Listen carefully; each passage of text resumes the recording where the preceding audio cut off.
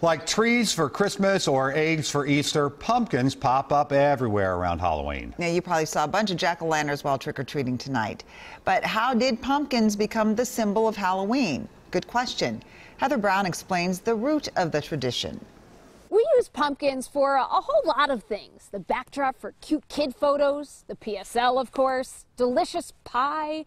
But why do we carve designs into them during the month of October?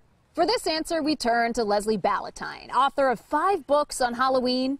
She says carving vegetables was big in Europe for centuries. They were easy decorations. The French dug into big beets at Christmas. The Irish and the Scots carved faces into turnips this time of year.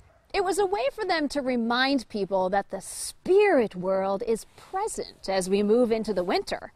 Remember, back then, this was the beginning of a cold, dark, and dangerous season, so they needed some way to scare away the evil spirits. Well, as the Irish immigrants made their way to America, they brought along this carving tradition. They also switched out the turnips for pumpkins just because there's so many of them here and they're easier to carve. But what about jack o' lantern? Where does that come from? Likely that's an old Irish legend about a man named Stingy Jack who tricked the devil more than a few times. When Stingy Jack died, he wasn't allowed in heaven, and the devil wouldn't let him in hell. So the devil sent Jack off with a burning coal, which he put in his carved out turnip. And the restless soul of Jack of the Lantern has been roaming the earth ever since.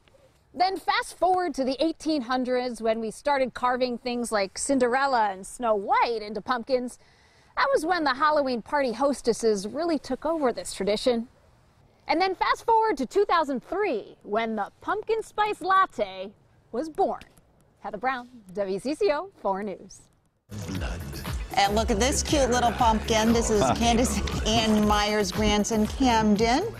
And right here, you're taking a look at Vera's very first Halloween. Lori's grandson was a shark.